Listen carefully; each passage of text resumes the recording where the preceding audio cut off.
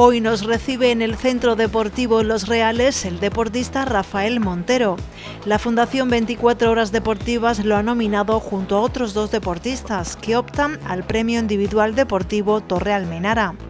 El joven esteponero agradece de nuevo el reconocimiento. Estoy súper orgulloso de estar nominado por segunda vez a los premios Almenara.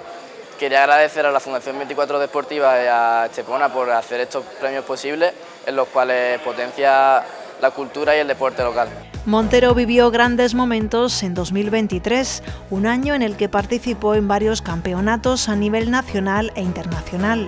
Para mí ha sido mi mejor año con mucha diferencia. La primera fue el Campeonato del Mundo Junior Sub-19, en el cual quedé segundo puesto. Mi primera competición en el Campeonato del Mundo de Adultos, en Dunkerque, Francia, en la que conseguí pasar un par de rondas estando en puesto noveno del mundo en esa prueba. En el Campeonato de España absoluto, en el cual conseguí quedar en tercer puesto tras el primero que fue Liam Wesley, que fue campeón del mundo en 2014, y segundo puesto Alex Pastor, el cual malagueño también, que fue campeón del mundo en 2015. Seguir a dos leyendas fue un empuje de ilusión y de motivación para seguir entrenando y trabajando a diario. En octubre fui a Brasil, en la que hice la penúltima prueba del Tour, en la que fui capaz de clasificarme para ella y también pasé un par de rondas igual que en Francia. En 2021 pude conseguir el primer puesto, pero este año me he visto con mucho más potencial que ese año y estoy mucho más orgulloso de lo que he conseguido.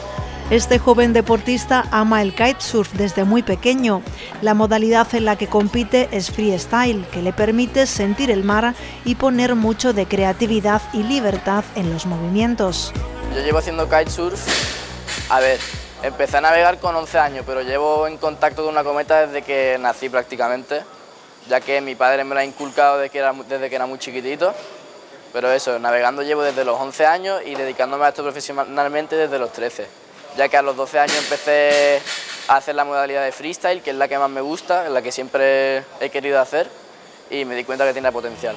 Rafa consigue compaginar sus estudios con los viajes y con una rutina diaria de entrenamientos en el mar, siempre que la situación meteorológica lo permita.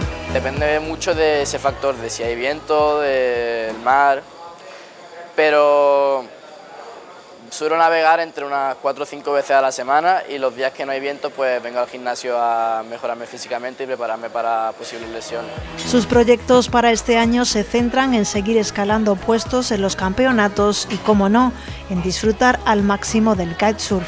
Mi principal meta de 2024 es, como todos los años, ganar el Campeonato del Mundo Junior y este año quiero ganar el Campeonato de España y hacer alguna otra prueba más en el Campeonato del Mundo consiguiendo mejores puestos.